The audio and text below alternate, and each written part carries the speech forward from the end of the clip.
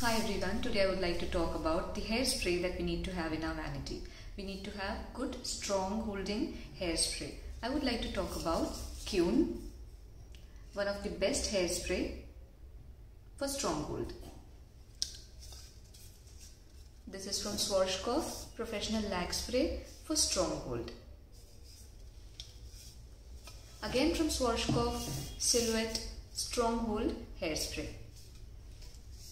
one of the best and affordable Schwarzkopf Taft Spray. I also advise this to my students and in my videos. This is Shine Spray from Schwarzkopf again. Very useful while creating all the hairstyles. Also you can spray after the hairstyle. This is a mousse that is from Schwarzkopf again.